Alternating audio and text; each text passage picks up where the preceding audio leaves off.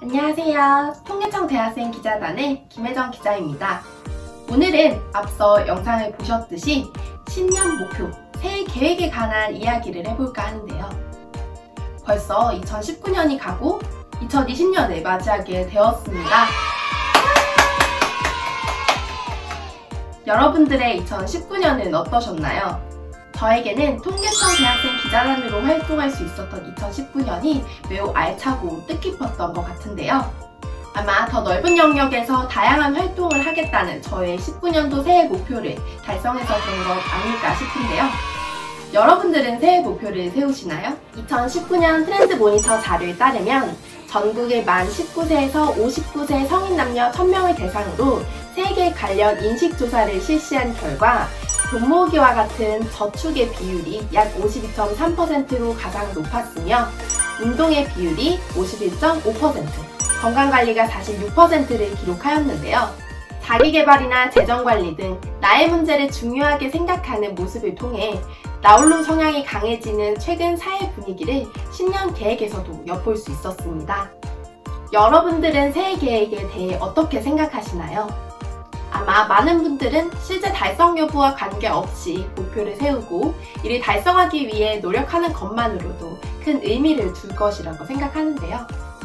새해 계획 관련 인식조사에서 전체 응답자의 약 73.5%가 지킬 수 있든 없든 새해 계획을 세우는 것은 중요한 일이라고 생각하고 있으며 계획도 실행할 수 있는 계획만 세워야 한다는 인식이 2017년 32.7%에서 2019년 47.3%로 높아지며 실제 실천할 수 있는 계획만을 수립하는 것이 중요하다고 생각하는 비율이 높아지는 것을 알 수 있습니다.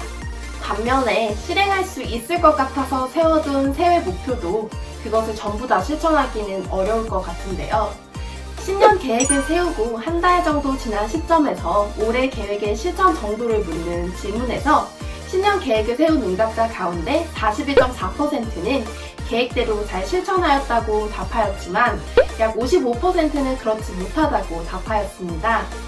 그만큼 신년 계획을 세우고 이것을 완벽히 실천하긴 어렵다는 것을 뜻하는데요. 그렇다고 신년 계획을 안 세울 수는 없을 것 같은데요.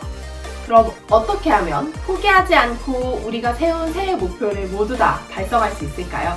제가 2020년에는 기필코 새해 목표를 달성하기 위해 한번 조사를 해보았는데요. 여러분들께만 꿀팁을 살짝 알려드리겠습니다. 그럼 저와 같이 새해 계획을 짜러 가보실까요?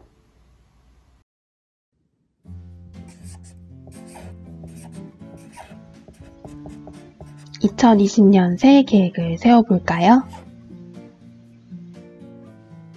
첫 번째는 5개 이하의 목표를 세우는 것입니다. 너무 많은 계획은 실천하기 어렵겠죠? 그럼 저도 딱 5개의 계획만 세워보도록 하겠습니다. 다음은 구체적인 계획을 세우는 것인데요. 예를 들어 다이어트 하기와 같은 계획보단 한 달 동안 몇 그램 감량하기와 같이 언제부터 언제까지 어떤 방법으로 하는 게 좋겠다와 같은 구체적인 계획을 세우는 것이 필요합니다. 세 번째는 단기적인 계획을 세우는 것인데요. 장기적인 계획은 시간이 지날수록 지키기 힘들기 때문에 짧은 시간 이룰 수 있는 단기 계획을 먼저 세우는 것이 중요합니다. 다음은 가벼운 목표부터 설정하기인데요.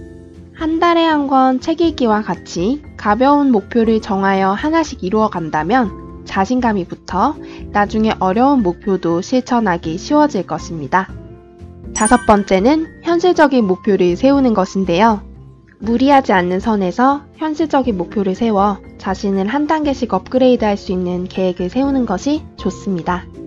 여섯 번째는 목표의 우선순위를 정하는 것인데요. 어떤 목표가 자신에게 더 중요한지를 순서대로 기입하여 우선순위를 정해 차례대로 실천해야 합니다.